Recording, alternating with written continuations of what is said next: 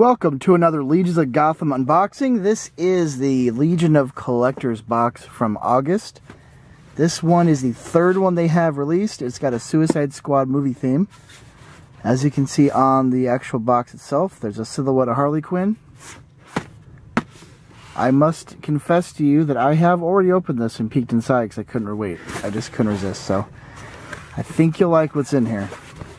Inside the box has got some images of the cast from the film. First thing that we see is a really nice katana patch.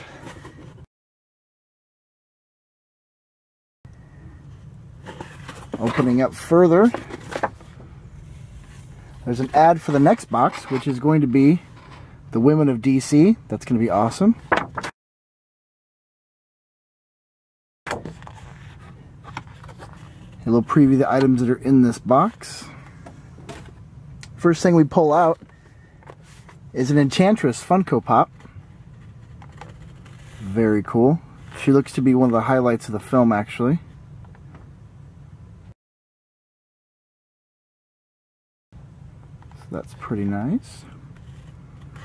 On the back, you've got the rest of the Suicide Squad Funko Pops. Some of those are exclusives. I know Target's got exclusive. I think uh, Hot Topic has got some exclusives as well. And the next item in here is this really nice Funko Pop themed Suicide Squad shirt.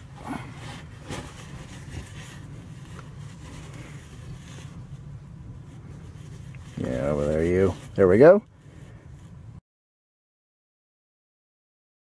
You can see there. Again, Joker front and center. Personally, I kind of wish they would leave him out of the front and center part of things, but marketing is marketing. Okay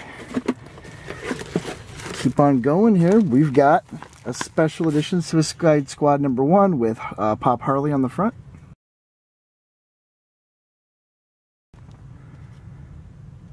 Very nice.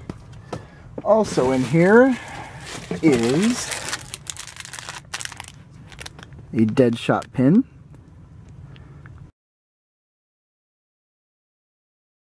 Now previously we've got pins of the Atom from the television show uh, DC Legends of Tomorrow. And we've also got a Superman pin, so this goes along with those.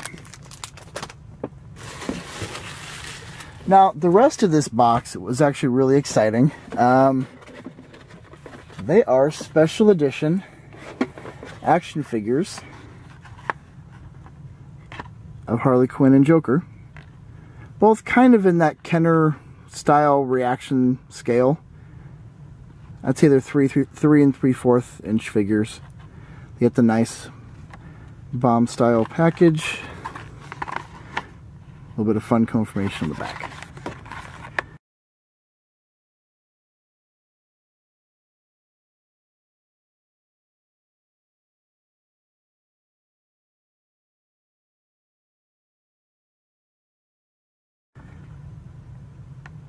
And that is the box this month couple more months, we'll be back to feature the women of DC.